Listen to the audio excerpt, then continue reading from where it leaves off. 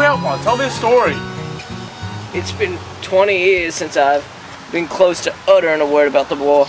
Young people today got this mindset that the war is like a game, that courage will just arise when needed, but they don't know the chill that goes up your spine, that just freezes every muscle, joint, and bone in your body.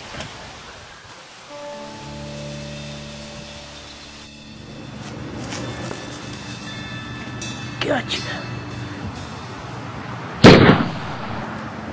The year was 1968, and all we did in Vietnam was walk. My platoon was made up of some of the best men I knew. There was Mitchell Sanders.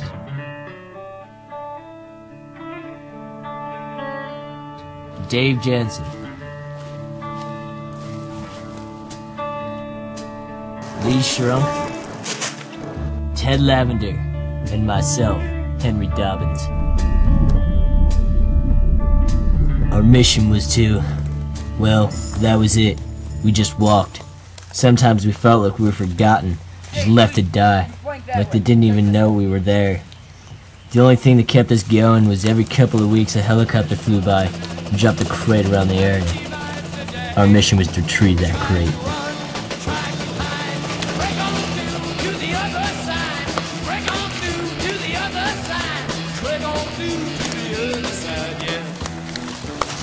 Wonder what they dropped this time.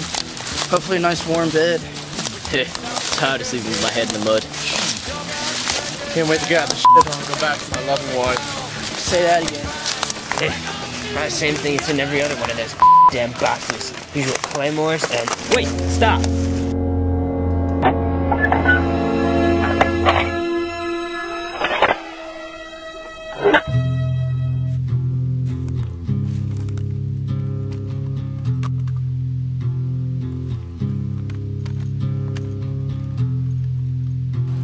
Damn Vietnamese guarding the box. I'll take the first one out. You rush them.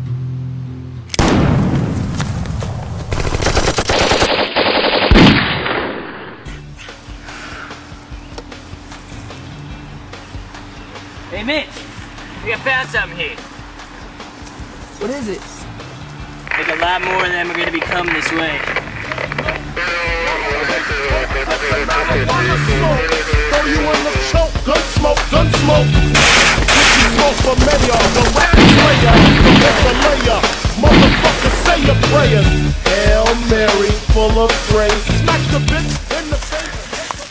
They have to be close. We can't just outrun them. They know the area too damn well.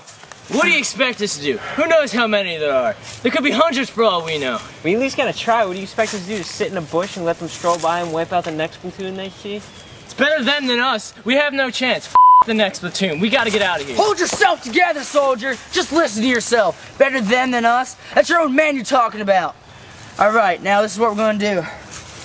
Gather up ammo. We're not gonna run. Good, good.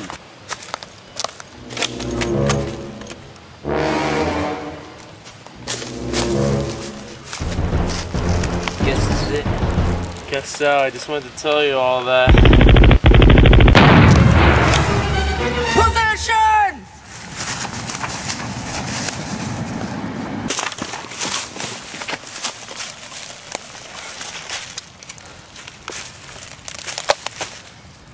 Is that a picture of your family? Yeah. Ah, don't worry. You'll see them eventually. Just wait for the signal. Can't do this. I'm gonna get these sons of bitches. Just wait for the signal. It's coming soon. Well, I heard there was a secret chord that David played and it pleased the Lord. But you don't really care for music, do goes like this the fourth, the fifth, the minor fall, and the major lift. The baffled king composing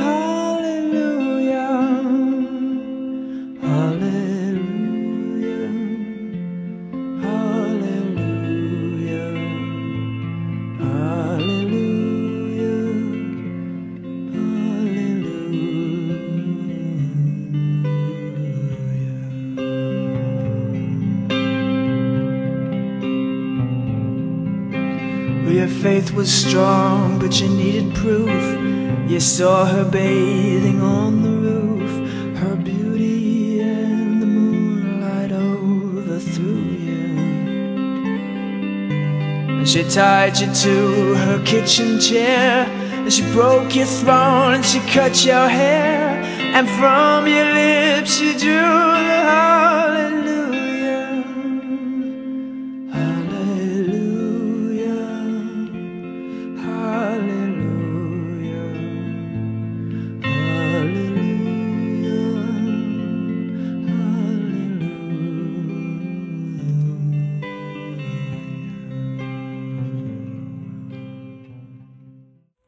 Truly am sorry for that day. Made a promise I'd never be scared again. Guess that's a promise I can't keep.